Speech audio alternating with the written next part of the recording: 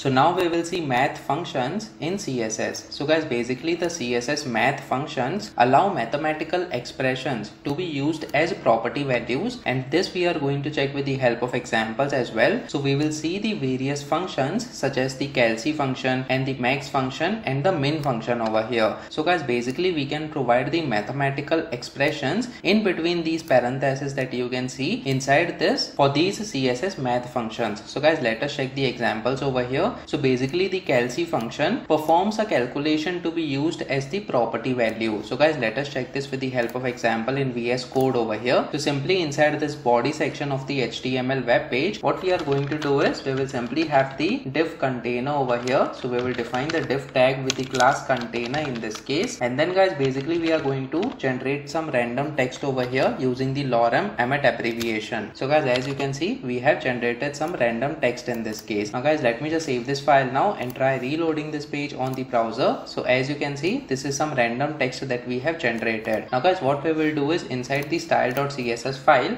we will provide certain CSS properties to this class container over here which is associated with the div tag that we have defined. So guys basically we are going to have the background color as yellow in this case. So we will use the background color CSS property. Also we will define the border as 2 pixels border width with the border style as solid and the border color as black color in this case. Let us also provide certain padding over here. So we will provide the value as 5 pixels in this case. Let me just save this file now and try reloading this page once again on the browser. So as you can see this is the div width the class container with the required CSS properties that we have defined. Now guys how do we use the calc function that is the math function over here inside the style.css file. So guys we can use the with CSS property in order to define the width of this particular div tag. So currently it is taking the 100% width of this entire screen. Let us set it to 50% width of the screen. So how we can do that? Simply by providing the width property over here and then simply we can provide 50% in this case. So let me just save this file now and try reloading this page once again on the browser. So as you can see we have the 50% width in this case. Now guys this is the direct way in order to provide certain value to the CSS property. But let's say from this 100% of the width of this particular div container that we have seen just now. So let us change it to 100% in this case. So let's say if we only want to remove the 200 pixels from the right. So what we can do is simply we can use the math function that is calc over here. So as you can see this is the function and inside this we have to provide the expression that is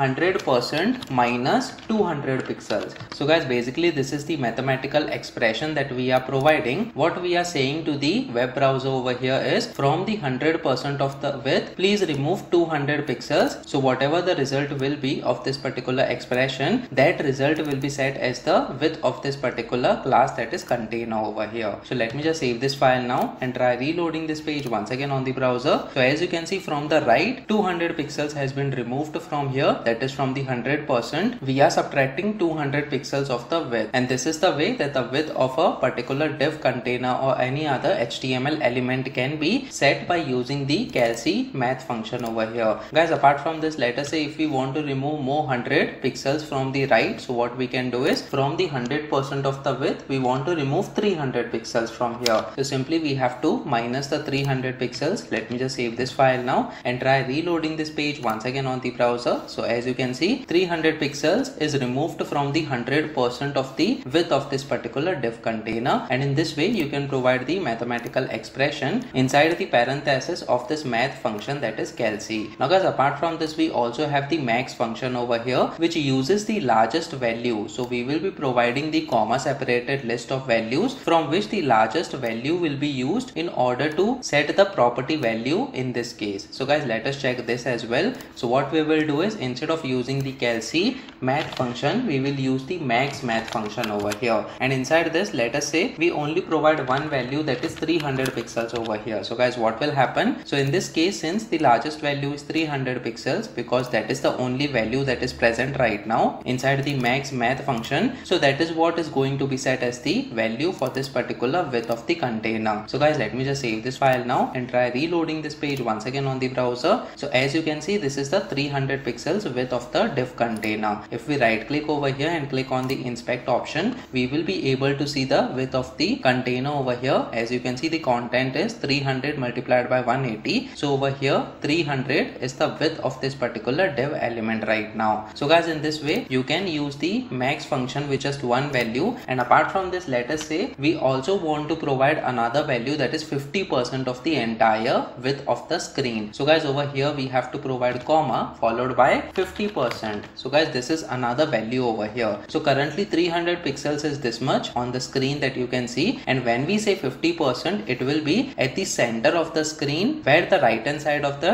div element must be present. So guys somewhere over here the right hand side of the div element should occur when we apply these changes over here. So let me just save this file now and try reloading this page once again on the browser. So as you can see the 50 percent of the width of the screen is being taken right now and the border is present at the center of the page over here as far as horizontal alignment is concerned. So guys out of 300 pixels and 50 percent 50 percent is greater right now and that is what is being set as the value of the width css property. Now guys apart from this let us say we also have 70 percent as the width. So currently 70 percent of the width will be the highest number over here. So let me just save this file now and try reloading this page once again on the browser. So 70 percent is being set as the width of the div container. So in this way you can also use the max math function inside the css for any of the css properties that you want to use the mathematical expression for now guys similarly we will have the min function as well which uses the smallest value from the comma separated list of values as the property value. So guys let us check this as well. So out of all these three values that we have provided 70 percent is the largest value and that is what we have seen over here. That is 70 percent of the width is getting implemented right now for this div container.